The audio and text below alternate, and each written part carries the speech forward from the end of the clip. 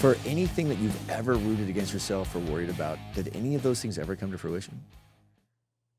So no, and that's like that's Such a kind waste of of energy. like the mental growth that you have to go through to stop doing that stuff to yourself. And you need to surround yourself. Yeah, Be immersed in an environment that are like that. Well, you're kind of what you're talking about too is kind of like why like that architect in San Francisco was such a good experience for me 'Cause he was pressure testing yeah, he was telling me you failed and that, like these 10 mm. areas you failed.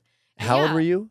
Oh, I was fresh out of college. Young. 21. Yeah. And it was like my first Chip on a RFI. shoulder this uh, big. Oh yeah. Right. And it like but fortunately for me I thrived on it because it like I always want to like but I do I think it is like trying to train that generation that that failure or that feedback is not bad.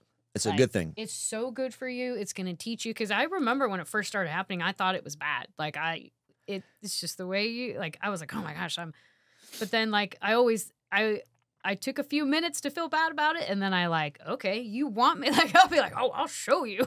like Do you want to see? Do you want to know how to discover where the mental midgets are in this Yeah. industry? Go fail and watch who criticizes you, and it's just a coward move, right? Oh, yeah. Like I laugh when people are like, "I can't believe you did that." I'm like, "You can't," because you never would have tried. So that's why you don't make mistakes if you're not going to try. Eh, We're a battleship. I'm not meant to be moored to the pier. I'm supposed to be out there at sea in harm's way, and I'm I'm I'm not going to play it safe. Like have you ever had any great stories that started about that time you were sitting down with that kale salad and you and your sister? Oh, you probably do actually. You probably love that kale. no, I don't. I hate I- kale. My husband tries to make me eat it all the time. No, he we does grow it in our not. garden. Well, it's full of nutrients. It's like he likes. He wants us to eat it to like like keep our bodies healthy. You know, there's way. vitamins for that, right? I take a bunch of those too. You have to eat the kale. Oof. Might as well eat like- liver and onions. Oh yeah, I've like put mangoes in it. But um, I was gonna go. What were? Oh man, I had a comment before we got to kale and mangoes.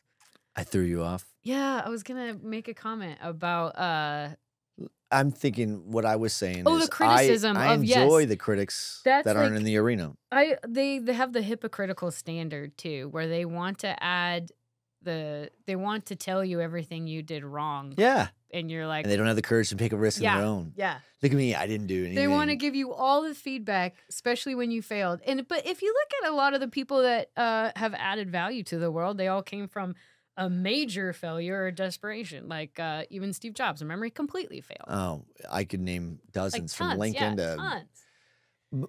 I would say. Even Mel Robbins, the girl I told you with the air high five in the mirror, she had like major depression and lost her restaurant business, and it took her losing everything to figure out how to come back. And But none of the factors that made her feel like that changed. The only thing that changed is the way that she viewed it. Yep. And it's a decision to make those changes, right? I think that we just pile so much fucking stupid shit on ourselves Oh, and make it hard to pivot like that. But I was trying to explain the value of failing.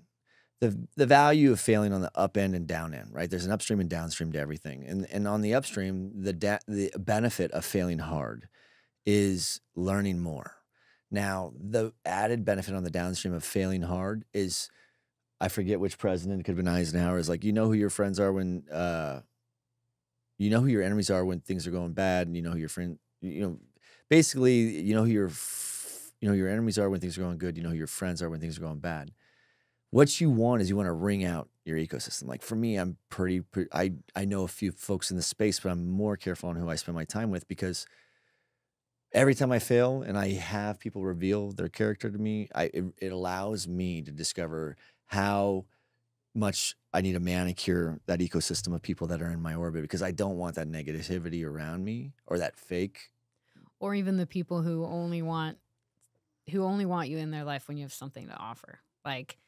Like oh, you can give me this, you can give me that. I'll Oh, they only called on you when you were a client or something. Yeah, Mm. like well, I mean, it's. I'm not saying it's bad. I'm just No, saying, it's transparent. Like, You can see it. watch, watch, like who. It's the same thing about who you let in your system, in your solar system, because there can be people who will drag you down, and they'll drag you down with them.